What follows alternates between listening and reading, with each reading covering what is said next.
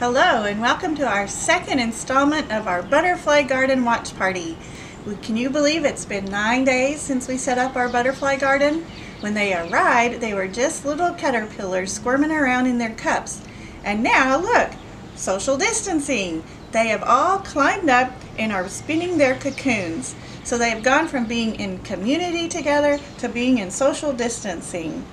Hmm, kind of like where we are in our time and place today. So we have the advantage of knowing that when they come out from their cocoons, they're going to be transformed. They're going to be butterflies. They're going to live life in a whole different way. So I wonder, how are we going to come out of our cocoons? How are we going to exit this season of Lent and this time of being in social distancing?